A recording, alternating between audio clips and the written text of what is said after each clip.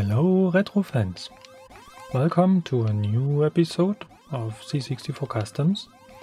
And as you can see, uh, I'm a little bit busy because I have to play the newest game from Richard Bayliss, aka The New Dimension. And it's called Let's Invade 2. And this is indeed the most fanciest and um, spaciest and uh, I don't know, freakiest Space Invader game I have ever played in my whole life. And um, as you can see, it is really very colorful, very flashy. Uh, it reminds me a lot of um, Krakout, Krakout 2, because uh, of the background, which is uh, kind of changing all the time. And uh, it has a very nice pumping soundtrack. It's fantastic. It's really so weird. Oops, got stuck somewhere. And um, I wouldn't wonder to hear this as the new start song of the Mega Avalanche in uh, Alpe d'Huez, uh, because it's very similar.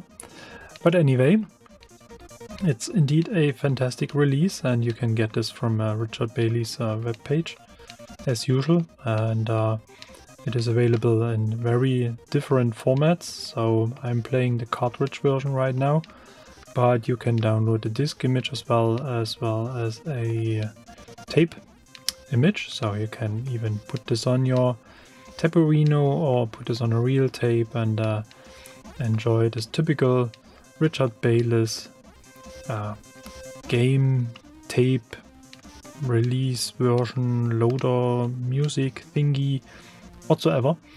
Anyway, uh, looks like I better finish what I'm doing here right now and uh, focus on what we are talking about today. And as a very first thing, I'm going to show you that uh, what I'm doing here right now, I'm not playing the game on uh, real C64, I'm playing this on the Turbo Chameleon in standalone mode in conjunction with my Commodore CDTV remote control because the main purpose of this episode is to test the new Minimig core for the Turbo Chameleon version 2, that's important, uh, because it promised to have a much better CDTV support than the previous core. And um, well, let's have a look if this is going to be true. But um, as a very first thing, um, I'm going to kind of explain the setup um, just in a kind of brief manner. So as you can see, the Turbo Chameleon is running in uh, standalone mode. It's connected uh, via VGA to my uh, Gainer HDMI converter. And this is fed into my recording setup and uh, this has kind of caused a lot of headaches because this is a very uncommon um, scenario for my recordings. So I had to create a whole new set of um, scenes, a new profile. I have to use a different sound routing because now the sound routing is coming from the Turbo Chameleon and it's not going to feed into the um, XRGB FrameMeister Mini and um, therefore, yeah, I spent some time getting all that thing sorted, and uh, basically now it's working quite fine. And the interesting thing, if we're going to jump back to the C64 view, and um, let's step out of the game, even if it's so good. And we should get a reset performed. No, no reset. Then uh, let's jump into the Turbo Chameleon screen. And as you can see on the top of the screen, I have enabled the uh, VGA overlay. And here we can see a couple of things going on on the Turbo Chameleon.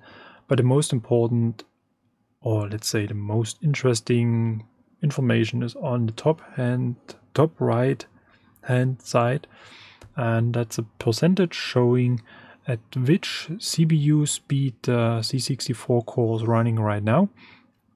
And uh, I'm testing a new Turbo Chameleon core. That's kind of a beta of the current beta version, and it has a couple of improvements in terms of um, turbo optimization, and um, this is mainly located in the area of oops sorry that's basically uh, located in the area of um, the IDE slowdown or the I, I, IEC slowdown uh, because this is required to load disk image, uh, for example, probably. So um, in order to load something, the C64 has to slow down to 100% to get the timing right.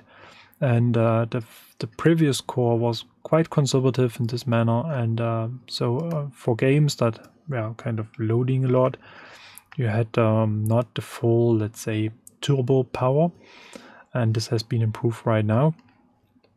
And uh, some other optimizations and uh, basically, as I'm saying, this is kind of a more release candidate, better, better version, I don't know, which I got for testing purpose.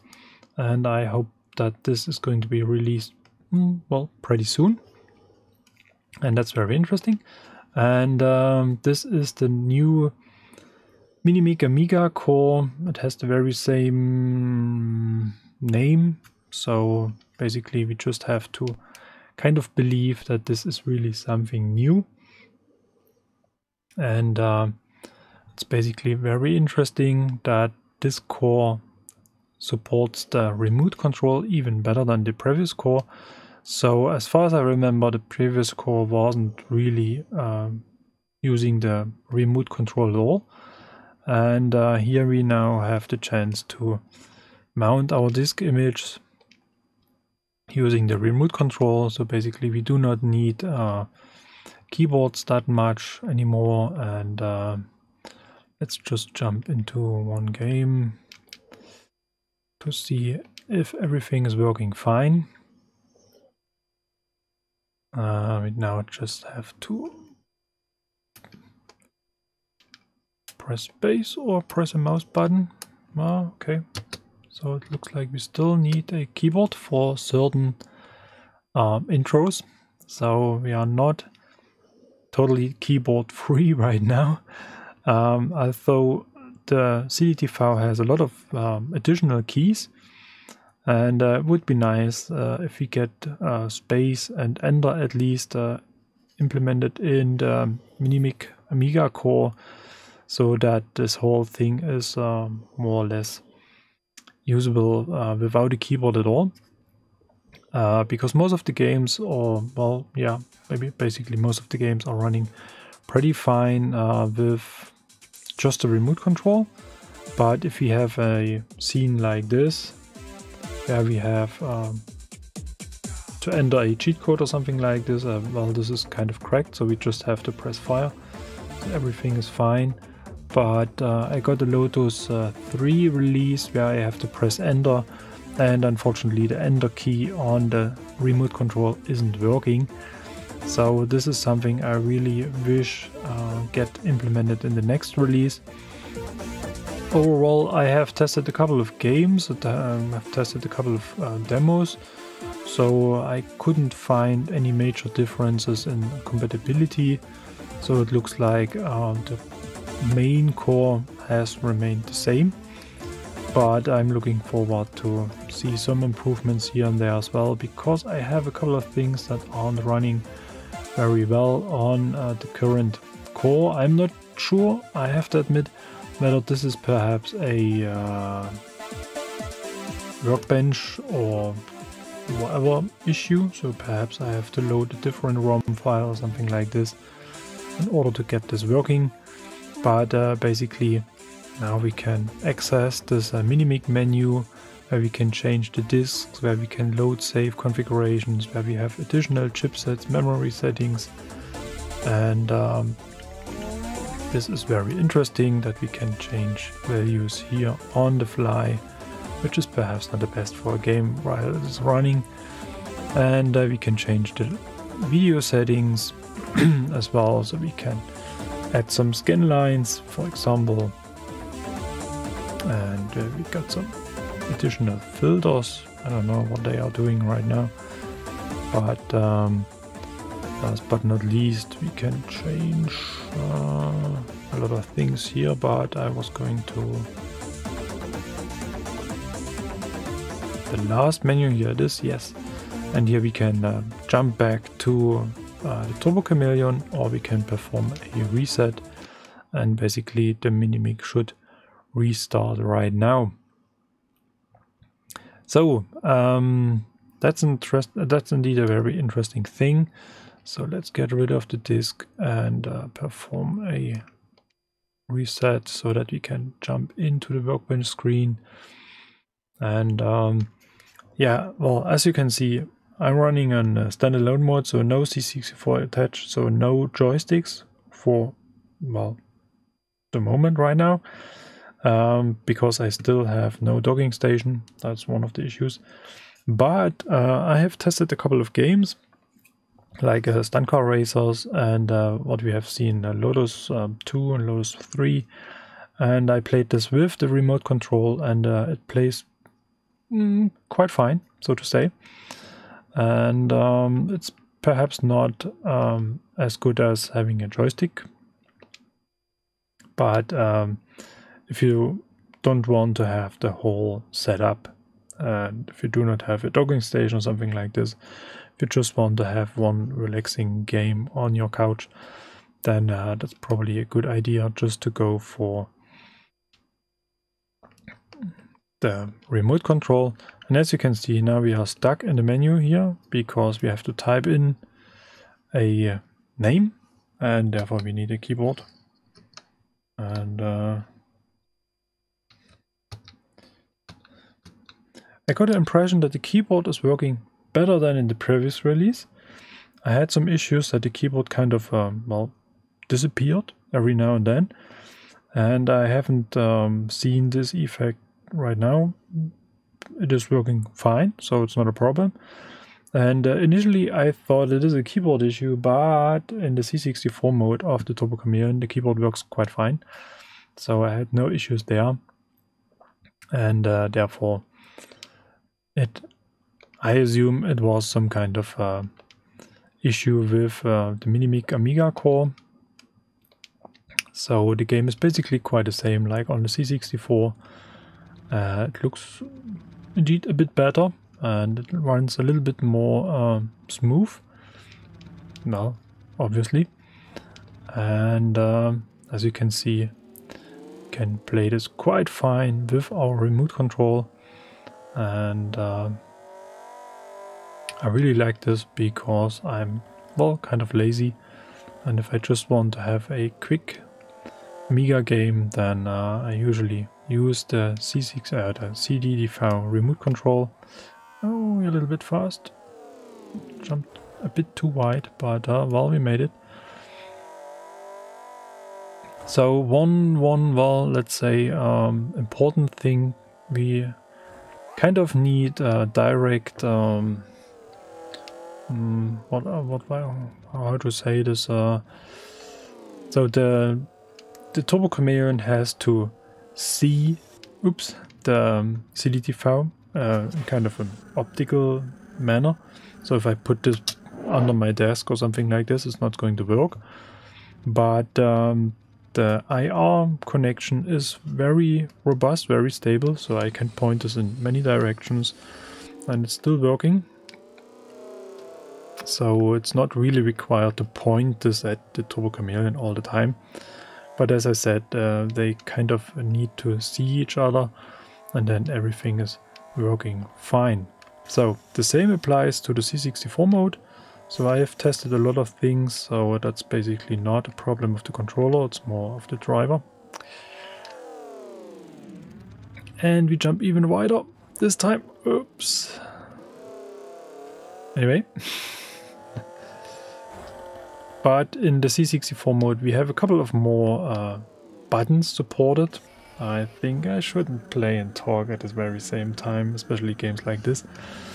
But anyway, so in the C64 mode, we got um, most of uh, all of the buttons uh, available to control our um, Turbo Chameleon core. And um, this is very comfortable because uh, it is really almost keyboardless, so we can really work on certain things on games and um, all that stuff without even attaching a keyboard to the Turbo Chameleon, which is pretty comfortable. But as I said, I'm very happy that this is working uh, with the remote control right now. So that's very fine. And um, that's a major step forward. So basically, I'm looking forward to the next course ported to the new Turbo Chameleon. There are a couple of things I'm really looking for. And uh, basically, that's mm, mostly all of this episode so far. Let's briefly jump into the latest um, C64 core.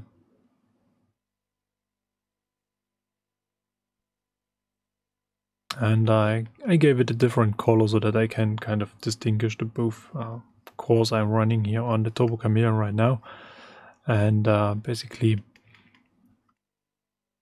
it's a very comfortable thing. And um, nothing has changed so far. I mean, the whole operation is still the same. And um, yes, so we see some progress on the Turbo Chameleon version 2 topic, and uh, that's really nice. I'm really happy that um, this development um, is, well, kind of improving, and that all those uh, things are working fine so far, and especially that the standalone mode is um, really useful on a standard setup. It requires the VGA connection. It requires, if you have an HDMI setup, it requires an HDMI converter. But um, they are, well, kind of cheap, so not, not so expensive. And this one works pretty fine. I have tested a couple of different um, resolutions and found that the standard 640 times 480 works kind of the best. So the others have some issues with the aspect ratio and all that things, but um, basically it is not that much information to convert and therefore 640 times 480 is really okay. And uh, yes, that's basically all for this episode. And um, well, I'm going to test more stuff as soon as it is available. And um, I will kind of prepare a um, Turbo Chameleon Turbo special. So that's the main reason why I'm testing this new core, because we found a couple of things in the old or in the previous core that had some issues with some games, for example. And um, as soon as I got all that stuff sorted, I will talk about this topic as well. So basically, that's all for this episode. Thank you very much for watching. As usual, if you have any questions, comments, suggestions, feel free to use the comment section. I will add um, links to the description section as far as I remember what was important for this episode, but um, basically that's going to be the case. And um, as usual, if you like this stuff, then please hit thumbs up. If you want to follow the channel, please just subscribe to the channel. I highly appreciate this. And um, anyway, see you for the next episode. Bye bye.